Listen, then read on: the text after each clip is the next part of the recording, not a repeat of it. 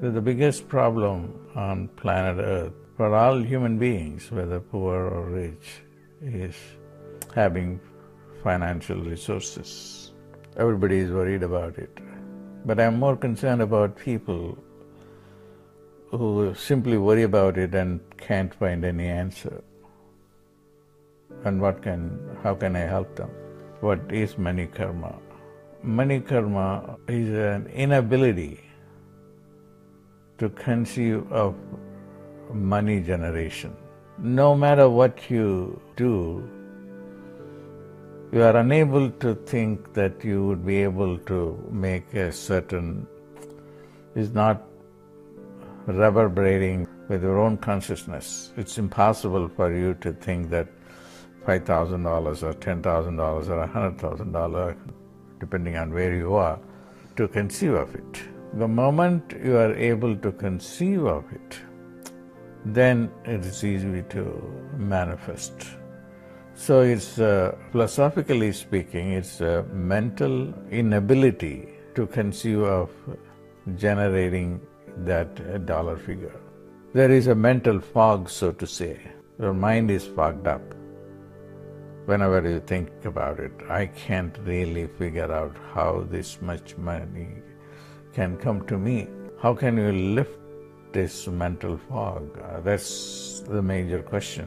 Another problem is the mental fog that I talked about is pervasive, meaning that it occupies uh, all through the day, meaning that you will be thinking about so many unimportant things.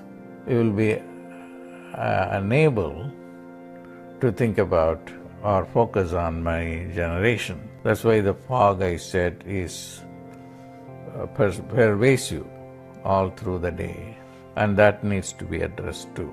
So, the first one is how to lift the mental fog. Definitely, uh, you should do. You should continue to focus attention and scratch your brain, and on a on a human level. And this you should do for both, for the mental fog uh, that uh, disallows you to think about money generation of a certain amount.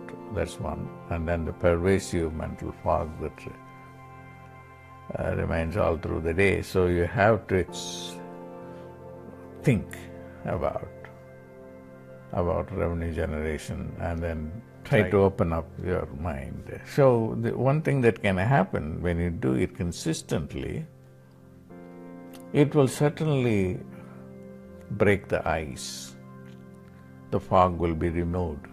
So that's what you can do on your own. But there will be limited success because number one, you will get frustrated doing that exercise, and also you will be in some sort of conscious or unconscious denial of that because it's it hurts you so much that you don't even want to think about it.